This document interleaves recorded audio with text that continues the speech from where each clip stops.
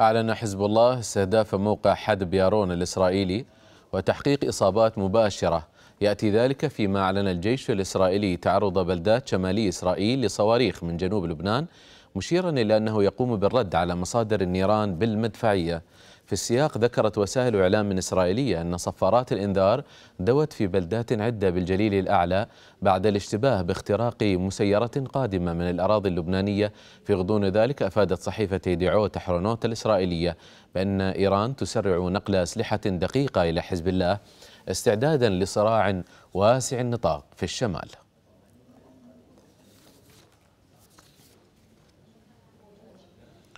حول هذه التطورات. معي من مرجعيون جنوبي لبنان موفدنا يعقوب باهداه يعقوب ما طبيعة التطورات في هذه الحدود؟ أيضا الأنباء عن ربما وصول مزيد من الصواريخ الدقيقة لجانب حزب الله فيما يعني أن رقعة هذا الصراع ربما تكبر.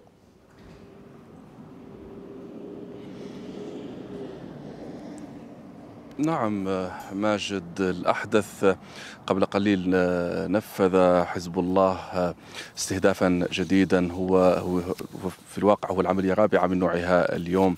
استهدفت موقع المرج العسكري الإسرائيلي قبل قليل. وكذلك نفذ اليوم حزب الله ثلاث عمليات خلال ساعات الصباح.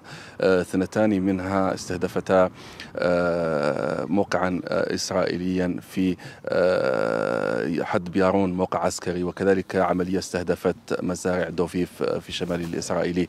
في المقابل القوات الإسرائيلية استهدفت مناطق عدة في الجنوب اللبناني من بينها قبل قليل استهداف سيارة في بلدة عيترون وأدى لاحتراق هذه السيارة وأنباء عن وقوع إصابات. كذلك استهدفت القوات الإسرائيلية مناطق قبل قليل استهدفت بالمدفعية أطراف بلدتي أم التوت والجبين.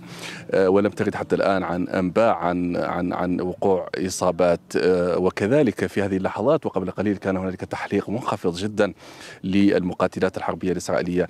عادة خلال الأيام الماضية القصف الإسرائيلي يكون باستخدام المسيرات وباستخدام المدفعية وأحيانا الدبابات.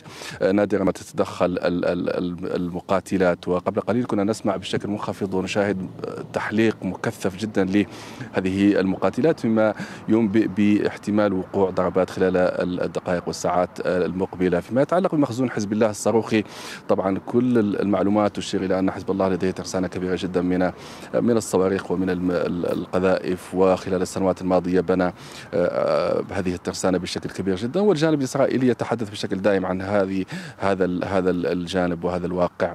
لذلك قد يكون التصعيد في مستواه الحالي عندما يتطور إلى مستوى أعلى سيكون هنالك كثافة كثافة نيران من الجانبين نتيجة لوجود هذا المخزون ونتيجه للتجربة الكبيرة التي بناها حزب الله في السنوات الماضية والترسانة التي بناها. نعم ماجد.